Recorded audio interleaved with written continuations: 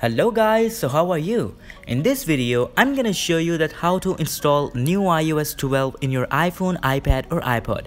But before starting this tutorial, like this video, subscribe to my channel and press the bell icon so you will never miss any updates iOS 12 is not yet released officially, but we can always install the beta version to test it. So as you can see, it's 11.4 version in my iPhone 7. Now I will install iOS 12 into this phone to experience the new features. Now open Safari and go to beta.apple.com. Let me tell you that it is only compatible with 64-bit devices. If you are trying to install it on iPhone 5, so you are unlucky.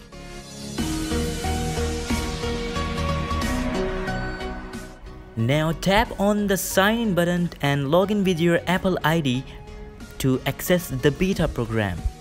It may ask you for a code if you had turned on two-factor authentication in your Apple ID.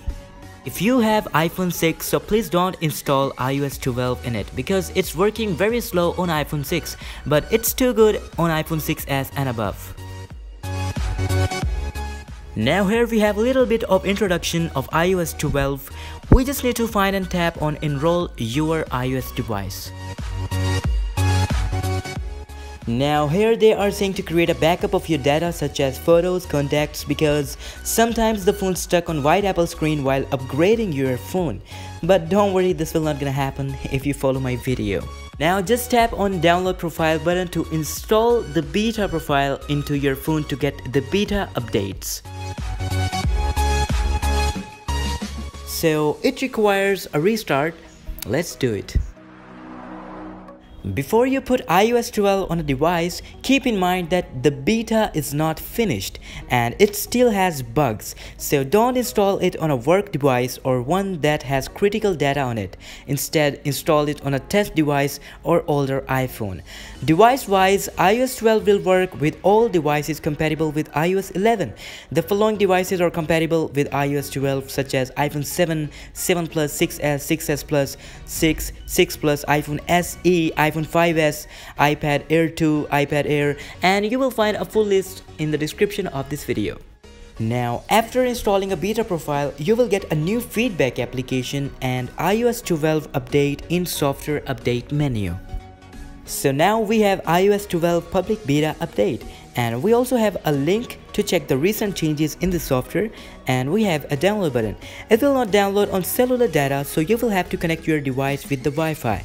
It takes 10 minutes to download so let's download it course, iOS 12 is known for its new Memoji feature, but it also adds functionality for group FaceTime, ringless notifications, additional battery usage information, and screen time limiting.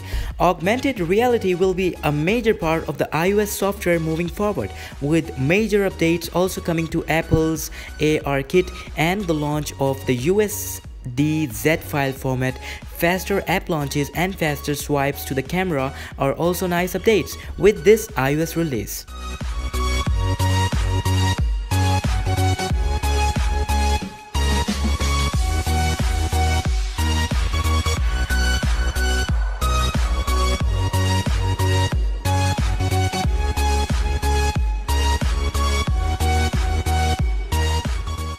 Now it has downloaded successfully. The update requires at least 50% battery or to be connected to a power source.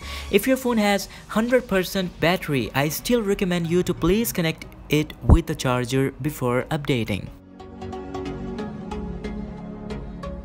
Now the installation is running. Testing the beta is important for developers who will be building applications on it and for IT professionals who have to ensure that their company's software and processes will work on the latest iOS updates.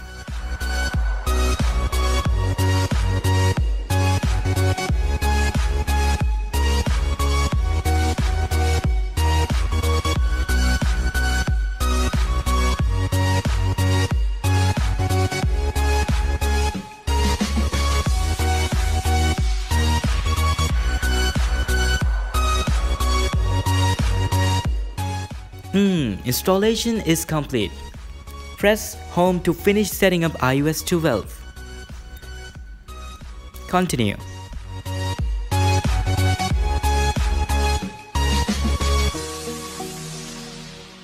Okay, here we have home screen of iOS 12. Let's see what's new in it. Nothing's here. The 3D touch is same. Let's see the control center. Nothing here. It's same, everything is same. Let's go into the settings and let's see what we have. A new screen time option. Okay, that's nice. Now let's see. Sounds and haptics, it's all same. What is it? Yeah, yeah, it's old. Okay. So let's see another new feature. Control center is same. Let's see the general. Ah, so you can see iOS 12.